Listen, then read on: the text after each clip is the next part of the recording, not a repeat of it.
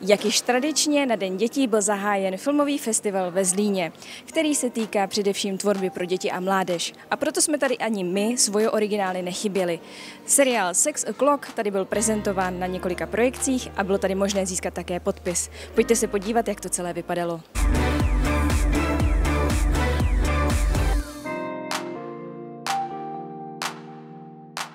Nejdříve tým seriálu Sex O'Clock přivítali na červeném koberci moderátoři Jan Čenský a Dana Morávková.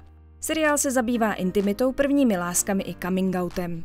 Proto tvůrci čelili řadě záludných otázek této moderátorské dvojice. Já už jsem jezdím opravdu hodně dlouho a vzniklo to, vzniklo to nejdříve na chodníku. To zní tak zvláštně, ale to bylo malované na chodníku a malování na chodníku, kdy děti malují. A to ještě Slávek Jandák byl prezidentem festivalu, takže to opravdu dávno. A od té doby prostě uh, mě to sem vždycky na konci roku školního táhne. A já jsem vás viděla na tom červeném koberci, bylo tam pěkné vedro, ale pořádně jste se tam zapotili, i protože tam bylo strašně moc lidí. Jak se to vlastně takhle dá zvládat? Opravdu my vždycky jdeme tak jako se zářát na červený koberec. Tahle ta tradice nemá jako dlouhého trvání, pár let zpátky vymysleli tohle, tohle vlastně moderovanou uh, akci, doprovodný program, kdy vlastně přicházející hosty představujeme trošku blíže, ale vzniklo z toho velmi hezké talk show a já to mám hrozně rád, že je to takový napůl uh, oficiální, napůl nezávazný a dá se tam trošku i blbnout, ale člověk se někdy započí. Jaké jste měla očekávání? Jestli na seriál budou koukat mladší diváci, nebo právě naopak starší? Teď třeba vy jste říkal, že jste měla reakci od té starší divačky.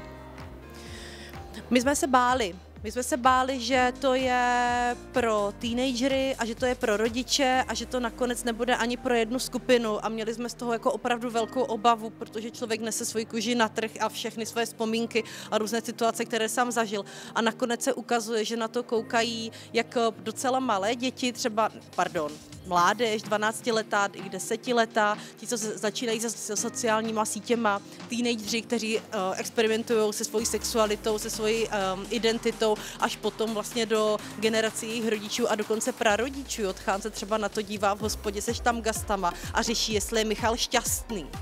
Jo, a to je parta chlapů u piva. Tak to si říkám, že nevím a vlastně jak, jak se to povedlo, že to jako vlastně překračuje gender a ad generace jste měla vlastně reakce, když seriál je teď venku a všichni už ho viděli i z vašeho okolí? Dostala jste nějakou zpětnou, která byla, tak to jsem fakt nečekala, že to takhle zaujme? Mě překvapuje, jak lidi jako mýho věku, já říkám jako, říkám my staroby, protože to je seriál jako, člověk by se řekl primárně pro mladý, ale já říkám jako lidi 40, 50, 60 plus, i můj děda, který mu je 90, a se na to dívají a jako baví se, takže já jsem jako v šoku, jak je to rozkročený mezi mladý i starý.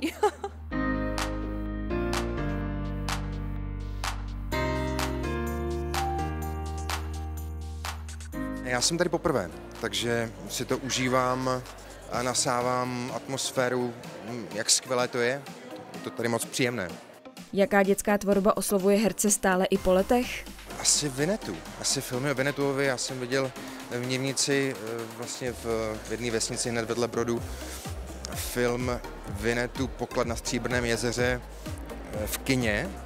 A to byl prostě velký zážitek vidět to na velkým plátně, takže um, takový filmy se, takový filmy nikdy neomrzí.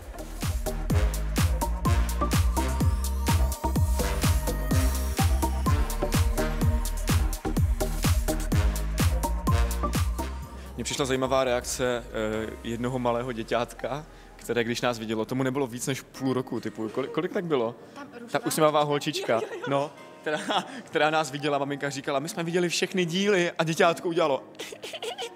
A já úplně, je, ono to vidělo taky. Kluk ráno říkal, že jako přesně jsme se ptali na reakce a on říkal, no, že to jako ty sexuální scény, že to bylo jako hodně autentický. Že vlastně jako mluvili jenom o tom. ale jinak jo, super. Byla zajímavá reakce, no. Asi ho to hodně oslovilo. Asi jo. Tak to je dobře. To si kladem za účel, ne? Hmm.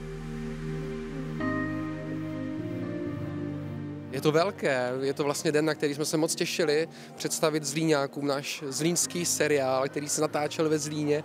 A to přijetí je zatím velmi vřelé. Mám za sebou červený koberec, kdy jsem nečekal, že tolik lidí se může v pátek odpoledne dostavit na jedno místo a podpořit nás. A zastavují nás lidi a říkají nám, ptají se nás na druhou řadu, Říkají nám, že se jim seriál velice líbil a když začínala autogramiáda, tak ještě než padl první podpis, tak si tam jedna paní vzala slovo a řekla nám ze, jak si, ze srdce, jak se jí ten, jak ten seriál je prostě o jejím životě a to je ta největší odměna.